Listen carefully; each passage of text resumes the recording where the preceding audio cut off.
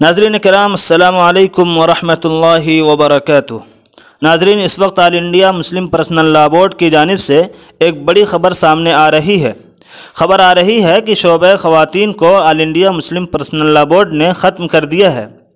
इस खबर पर तबसरा करते हुए मशहूर सहाफ़ी समीउल्ला ख़ान ने लिखा है कि एक इंतहाई तकलीफ़ खबर ये मौसू हो रही है कि All India Muslim Personal Law Board ने अपनी शोबे ख़वातीन को बर्खास्त कर दिया है। ये तशवीशनाक इतला ख़ुद बोर्ड की शोबे ख़वातीन से वाबस्ता ज़िम्मेदारों के ज़रिए मुझे मिली है।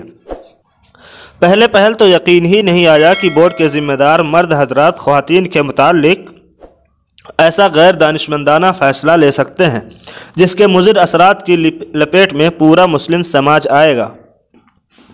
बोर्ड का शोबा ख़वान बोर्ड के सबक और मरहूम जनरल सेक्रेटरी मौलाना वली रहमानी की कोशिशों से वजूद में आया था, जिसे मरहूम ने दूरंदेशी और बालिग नज़री के साथ कायम किया था। कहा जा सकता है कि बोर्ड का शोबा ख़वान मुस्लिम मसाइल पर आवाज़ उठाने से लेकर मुस्लिम बच्चियों में ईमानियात की बेदारी को लेकर मुसलसल फ़ाल रहा है। बोर्ड के शोबे ख़वान को इस फ़ालियत तक पहुँचाने में शोबे की सदर डॉक्टर असमा जहरा की शबाना रोज़ जद्दोजहद का बड़ा दखल रहा है। और इस बाबत उनकी जद्दोजहद कहने की मुहताज नहीं है। आए दिन उनकी सरगर्मियों को सभी देखते रहे हैं। तलाक़ सलाजा से लेकर हिजाब पर पाबंदी के मसले तक डॉक्टर असमा जहरा ने इस शोबे का मिलत के हक़ में भरपूर इस्तेमाल किया है और मुसलमान ख़वान की भरपूर नुमाइंदगी की है। All India Muslim Personal Law Board में शोबे ख़वान का क़्याम हज़रत मौलाना वली रहमानी का एक दूर अंदेशी पर मबनी फ़ैसला था। बोर्ड में मुस्लिम ख़वान की वीमेंस विंग का वजूद बातिल इस्लामोफोबिक ताकतों को बड़ा ज़बरदस्त अमली जवाब था, जो इल्ज़ाम लगाते हैं कि मुसलमान अपनी खवतिन को दूसरा दर्जा देते हैं और ख़वान को ख़वान की नुमाइंदगी के भी लायक नहीं समझते।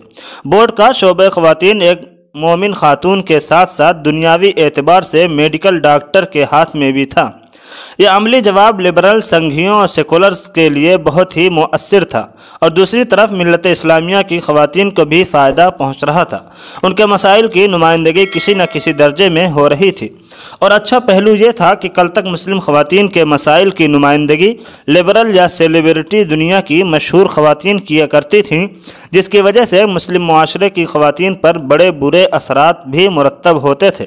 लेकिन बोर्ड में शोबे खवतिन के क़्याम के बाद से मुस्लिम खवतिन इस जानब रजू करने लगी थीं और शोबे खवतिन भी बराबर मुस्लिम बच्चियों में ईमानी वाबस्तगी के लिए मुतहरक नज़र आया है। लेकिन पता नहीं क्यों बोर्ड के मर्द जिम्मेदारों ने मिलकर इस शोबे को ख़त्म करने का फ़ैसला ले लिया। बाज़ लोगों का ख्याल है कि गुज्त कुछ दिनों में बोर्ड की शोबे ख़वान की तरफ़ से मुसलमानों के इशूज़ पर बोर्ड के ज़िम्मेदारों की रविश पर तनकीदें की गई थीं और बार बार दबाव बनाया जा रहा था कि बोर्ड मुसलमानों पर हिंदुत्व ज़्यादतियों का नोटिस ले और अमली इकदाम करे। ख़वान का इस हमत अमली और मुस्लिम इशूज़ पर अपने तौर पर एक्टिविटी को ज़िम्मेदार हजरात ने नापसंद किया, जिसके नतीजे में बोर्ड के शोबे ख़वान को ही ख़त्म कर दिया गया। जैसे जैसे ये खबर आम होगी, मुसलमानों के कदावर मर्दों की जहनीत को लेकर लिबरल तबके सवाल उठाएँगे और फिर से वही इल्ज़ाम साबित करेंगे कि मुस्लिम समाज ख़वान को हक़ नुमाइंदगी नहीं देता है। ऐसे नाजुक वक्त में यह फैसला लेकर बातिल को मुसलमानों पर हमला आवर होने का मौका फराहम करना इंतहाई नादानी है।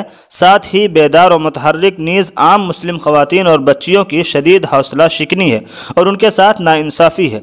बोर्ड का मौजूदा शोबे ख़वान बेहतरीन, मुफीद और फ़ाल है और उसमें मौजूद तमाम ही ख़वान मुस्लिम ख़वान की बेहतरीन नुमाइंदगी कर रही हैं। कोई भी इस हकीकत को झुटला नहीं सकता कि बोर्ड में शोबे ख़वान की पहचान डॉक्टर असमा जहरा और उनकी खातन टीम की जहद मुसलसल की बदौलत है। और शोबे खुवान भी काम करता और उसे चलाना उनका हक भी है।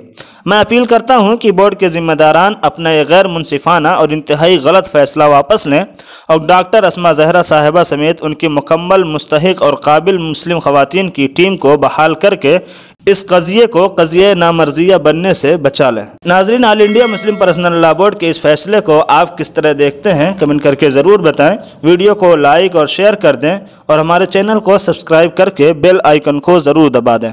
असलकम वरहमल वर्का